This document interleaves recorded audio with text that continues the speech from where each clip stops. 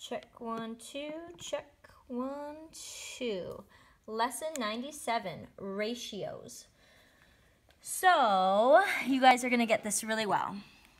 Um, a ratio is a way of comparing numbers by division. Um, so the things written in purple are things that are about ratios, and the things that are written in blue are kind of like an example of this one. So ratio is a way of comparing numbers by division. And then it says, if there are 12 boys and 18 girls in a class, then the ratio of boys to girls is 12 to 18, okay? And we say boys to girls, so you say boys first, and then girls second, okay? So it does the order, if you say boys to girls, then it has to be 12 to 18. If you say girls to boys, then it's 18 to 12, right? So it depends, the order that you do it matters. And then this says, we often write ratios as fractions. We write the term of the ratio in order from top to bottom. So like a fraction. The ratio 12 to 18 is written 12 to 18. And we read the ratio 12 to 18 by saying 12 to 18. Ms. Sparks, do I need to write all this down? Yes, you do. Then it says, we reduce ratios just as we reduce fractions.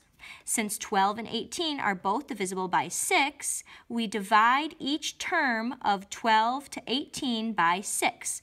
So 12 to 18 divided by 6 divided by 6 equals 2 thirds. So the ratio of boys to girls in the class is 2 to 3. 2 to 3. This means that for every two boys in the class, there are three girls. Also, something I want to point out is, aren't you glad that you don't have that many kids in your class? I know I sure am. All right, example one. There were 12 girls and 16 boys in the class. What is the ratio of boys to girls? First, we place the numbers in the correct order. So it's asking boys to girls. So you don't just take the numbers in the order that they appear, you see boys to girls. So there's 16 boys, and remember we write it as a fraction, 12 girls. So we write them in the correct order and of that we are asked, boys to girls. Since we follow the order from top to bottom, which is what it says, uh, where does it say the top to bottom thing? From top to bottom, yeah, I squeezed that word bottom in here. So since we write them from top to bottom, we write boys on top and girls on bottom, top to bottom, okay? Um, Unlike fractions, we do not write ratios as mixed numbers. They're not going to be mixed numbers because that is not, it's not right.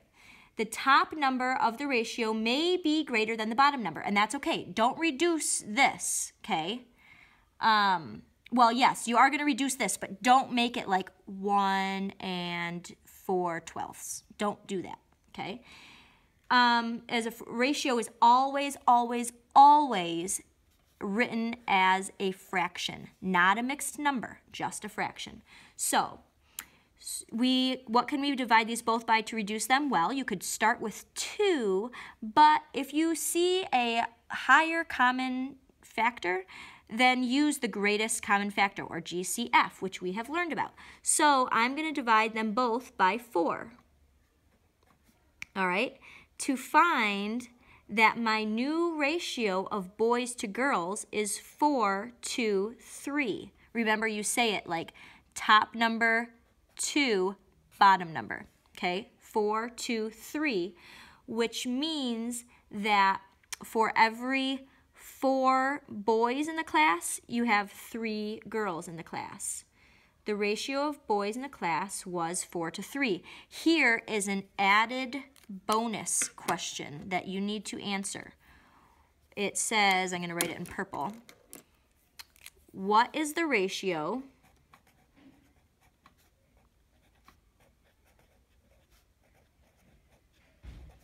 of girls to boys. Okay, you don't necessarily need to write this down, but you do need to write the answer and circle it, just as I have circled this question. Okay, circle your answer of what is the ratio of boys, girls to boys. Now for your lesson practice. Okay, so here's your directions for A and B. There were 12 prairie dogs and 30 jackrabbits in a section of Texas of the Texas High Plains. What is the ratio? Okay, A. What is the ratio of jackrabbits to prairie dogs? B. What is the ratio of prairie dogs to jackrabbits? Remember, order matters. Your directions for C and D. There were eight red socks and 10 blue socks in George's drawer. C. What was the ratio of red socks to blue socks? D. What was the ratio of blue socks to red socks? Thank you. Have a great day.